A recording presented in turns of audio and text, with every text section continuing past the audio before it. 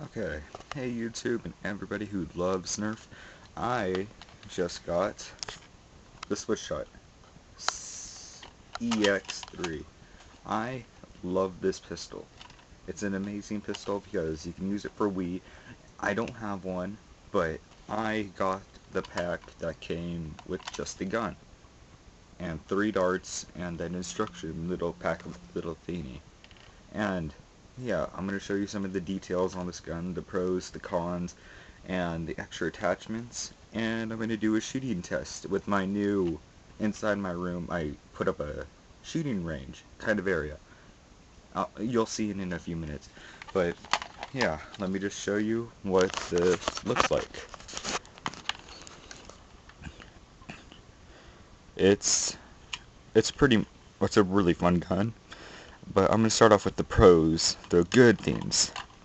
Um, if you have a Wii, this comes out. You put the Wii right in there. The B button is hit from right there when you pull the trigger. You press that button if you take just take the Wii out and you put it back in if you want the Nerf gun.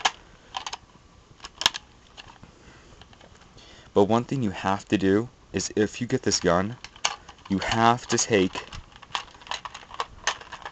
this thing out whenever you're done with your gun for the day. Because if you keep it in there too long, it will, this scene will completely die on you. I don't know why, but I think it's so used for just having this used for the Wii.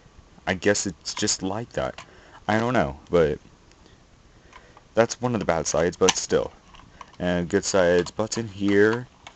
Um, it comes with a little little nod right there. It has, this is a cool feature because it has a tactical rail on the bottom. See? I put my, uh, what's it called? The Night Finder thing on there.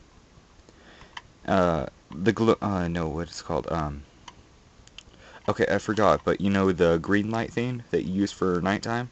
Yeah, I put that on there, or I put the, uh, the other thing that came with the Recon on there. Yeah, that's it. I don't know, but yeah, I like this gun, but the bad sides are small handle. Really, really small handle. My pinky comes off and it slips out of my hand. Um, uh, one of the bad sides is that this, if you keep it in there too long, it, yeah, um, and that's pretty much for the bad sides. I, I give it a pretty good three-star gun.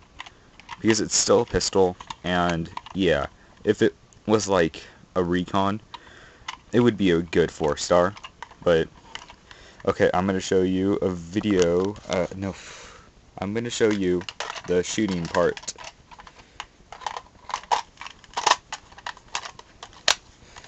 Okay. This is my kind of shooting range thing. I have a little track up there, and I put my